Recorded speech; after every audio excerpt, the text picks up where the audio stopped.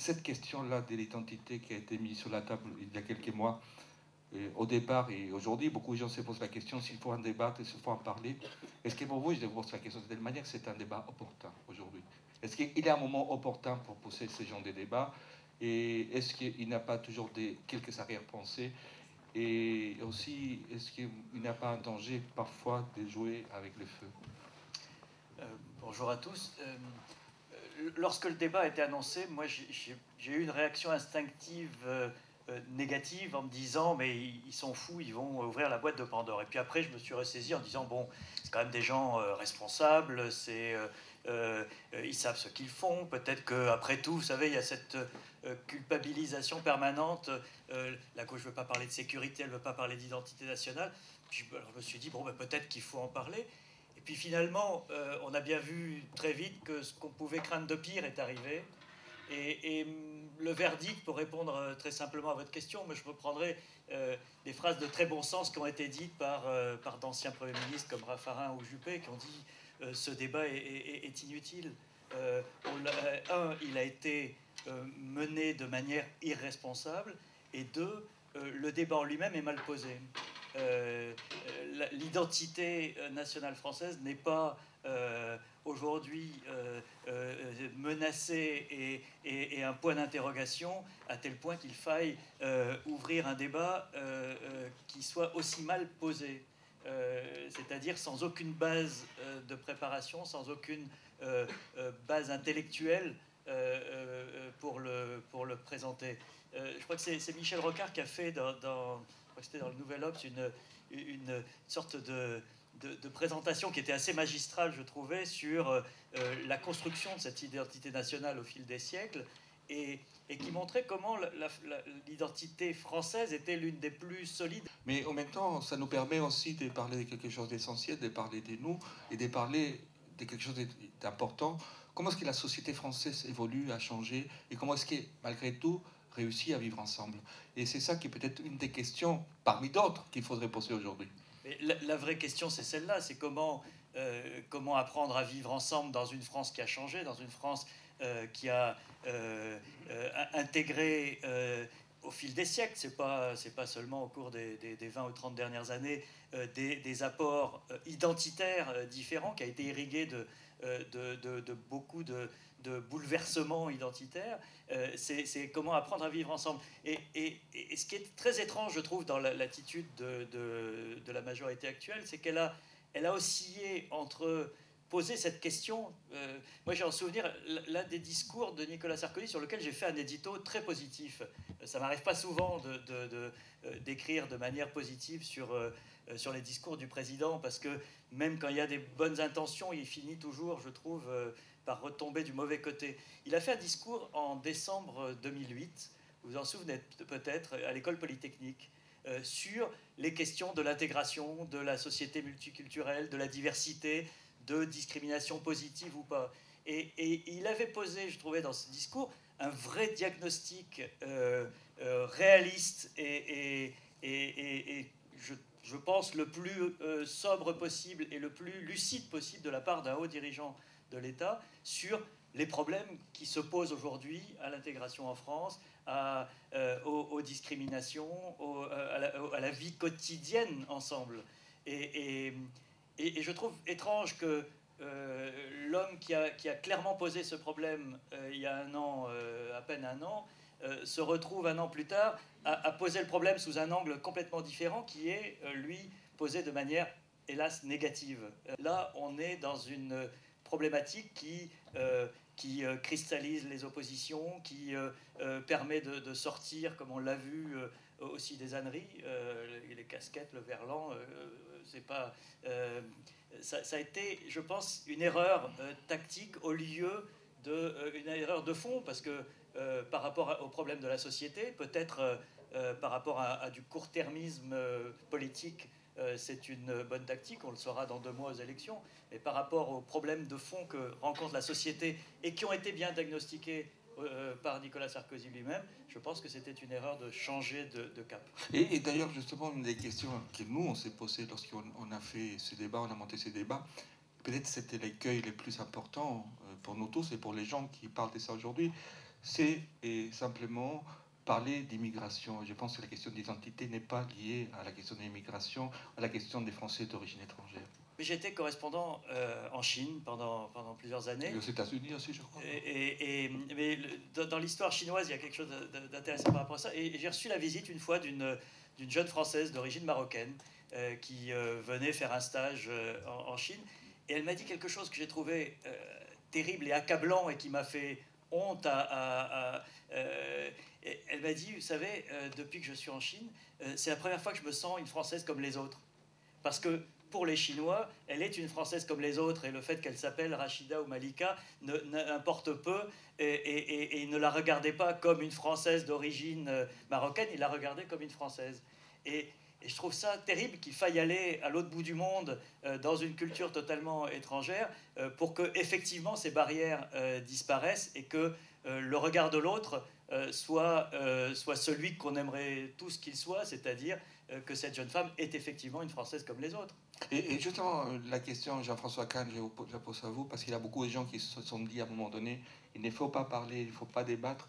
Cette question, comme d'ailleurs de toutes les questions, n'est pas en soi quelque chose de choquant. J'avoue que je ne suis pas effarouché par le fait qu'on se pose la question Justement, c'est ça. Qu'est-ce que notre identité nationale Autrement dit, qu'est-ce qu'est être français? On peut considérer que c'est une question ridicule, mais on peut considérer aussi que c'est une bonne question. Les gens se la posent. Dès lors que des gens se la posent, euh, c'est une question valable. J'ajoute que dans, dans l'histoire de, euh, de France, en particulier au XIXe siècle, on s'est beaucoup posé, Renan, la conception de Renan, la conception différente, est-ce que c'est une race, est-ce que c'est le sens, est-ce que c'est une histoire, est-ce que c'est à vivre ensemble, tout ça ça, fait partie du débat intellectuel. J'ajoute une chose, que quand j'ai créé euh, Marianne il y, a, il y a 13 ans, euh, dans le mot Marianne, j'avais mis une femme, en l'occurrence la liberté qui dans le peuple de Delacroix, euh, qui brandit un drapeau tricolore. Et vous n'imaginez pas à quel point j'en ai pris, mais plein la figure, du genre, ben quoi, vous êtes un journal de pénis, un journal d'extrême droite, etc. Et ça m'avait me dit oui, il y, a, il y, a, quand même un vrai débat, parce que pourquoi ah, Bleu, blanc, rouge, c'est pas les tricolore Autrement dit, donc, tout ça pour vous dire que, un, vraiment, je suis pas choqué du fait qu'on ouvre un débat là-dessus. Et j'ajoute que ce qui est absurde, c'est que de dire, comme je l'ai entendu dire par Martine Aubry, il faut arrêter le débat parce qu'il y a des dérives. Le propre d'un débat, par définition, c'est d'accepter que les gens disent ce qu'ils ont à dire. On peut pas dire. On peut y aller alors. Oui, bah oui, non mais ça peut vous choquer. On peut dire c'est une honte ce que vous avez dit, mais ce que je veux dire, c'est que si on dit il faut un débat, mais à condition que les gens restent dans les clous, les gens euh, soient euh, corrects, les gens, etc., il n'y a plus de débat. Donc ça, c'était absurde. En revanche, en revanche, la façon dont ça a été décidé et lancé est totalement surréaliste. C'est-à-dire que tout à coup, pour des raisons évidentes, le chômage, les déficits, que sais-je, euh, si on pouvait parler d'autre chose, c'est pas mal, pour d'autres raisons, peut-être récupérer les voix de... Hein, dire Écoutez, à partir de mardi matin à 20h30, vous devez vous présenter dans les préfectures pour vous poser la question où vais-je, où cours dans quelle étagère? C'est hallucinant. Ça, c'est hallucinant. C'est pas le fond, si vous voulez. C'est le côté soviétique de la, du processus. Il y a côté soviétique dans l'idée. Euh, vous voulez, à un moment donné, machin, c'est le pouvoir qui vous le, qui vous le dit aller dans les préfectures, plus cette idée des préfectures. Bon, voilà. Et d'ailleurs, c'est un bide total, c'est-à-dire que c'est un débat où il n'y a personne. C'est même pas tellement qu'il y ait des dérives qui me choquent. que c'est le fait que, d'après ce qu'on me dit, il y, a, pratiquement personne. Voilà. Mais, mais c'est pas le fond, si vous voulez, c'est la façon, en effet, les raisons euh, euh, pour lesquelles ça a été lancé, la façon dont ça a été présenté. Qu'est-ce que vous, Jean-François Kahn, fondateur de la revue Marianne, avez-vous apporté justement sur ces débats-là? Quelles sont les pistes que vous, en tant que journaliste et philosophe aussi en même temps, parce que j'ajoute une chose, c'est que c'est qu'évidemment on ne peut pas lancer un débat sur euh, l'identité nationale sans partir de l'immigration.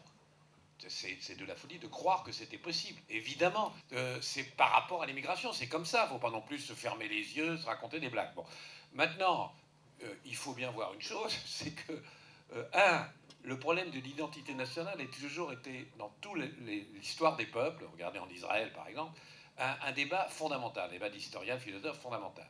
Mais en même temps, la réponse a toujours été mythologique. Euh, c'est très, intéressant, au 8e siècle, entre le, oui, c'est ça, entre le 8e et le 13e siècle en France, donc pendant 7-8 siècles, euh, il y a eu cette interrogation, on est qui? Parce qu'il y, a eu les, y avait les invasions barbares, il y avait des mélanges, et tout ça, on est qui? Et, il fallait répondre. Et tout à coup, on a trouvé une réponse. Alors, qui a été enseignée dans ce qu'on peut appeler les écoles par les clercs pendant, euh, oui, 5, 5 siècles, 6 siècles. Et la réponse, c'était par rapport à Rome. Parce que les Romains qui s'étaient posé la question qui sommes-nous? Euh, Angoissés, sous Auguste, ils avaient trouvé la réponse, c'était l'Énéide, à savoir nous descendons de Troie. C'est-à-dire les Troyens, quand les Grecs ont pris les Troyens, euh, Troie, eh bien, euh, le gendre du roi Priam est né, est parti avec les fuyards. Il a fait une épopée qu'on raconte dans l'Énéide, qui ressemble d'ailleurs à Homère. il a été à Carthage. Donc c'est un récit. Et, voilà, et il est venu à Rome, et voilà, et nous descendons, de, etc., de ce peuple. Très bien. Et, du même coup, on disait quand même, on ne peut pas être plus petit que les Romains. Pas possible. Alors, on s'est commencé à expliquer que le roi Priam avait un fils qui s'appelait Francion, qui lui aussi a fui Troie, avec des fuyards, qu'il est parti. Il est venu en Europe centrale, il s'est arrêté à Sicambre, c'était une espèce de. Voilà. Puis il est venu en France, et c'est les Français. Et c'est lui qui a formé les Français. Et pendant cinq siècles, c'était mais pratiquement l'enseignement, c'était ça. C'était totalement inventé, c'était mythologique, mais on avait besoin, de, et c'était ça. Jusqu'au moment où il se trouve qu'on était très souvent en guerre avec euh, l'Empire romain germanique, les Allemands, etc. Ils se sont dit quand même une source germanique, c'est peut-être pas bien, etc. Et à ce moment-là, c'était à partir du XIIIe siècle, XIVe siècle, redécouvert totalement des Gaulois. Personne ne s'occupait des Gaulois. D'ailleurs, c'était un peuple vaincu, c'était un peuple barbare. C'était pas bien de descendre des Gaulois. Mais tout, tout, à coup, on ne pouvait plus être des Germains. Donc, on a, inventé, on a redécouvert les Gaulois. Puis il y avait un chef qui s'appelait Vercingétorix, qui veut dire chef en gaulois, qui avait résisté un peu. Donc, tout à coup, il y a eu euh, toute cette construction du mythe. On dépend des Gaulois. C'était en grande partie mythologique aussi, parce qu'il y avait plus de Gaulois dans l'armée de Jules César que dans l'armée de Vercingétorix. Enfin, c'était une autre mythologie.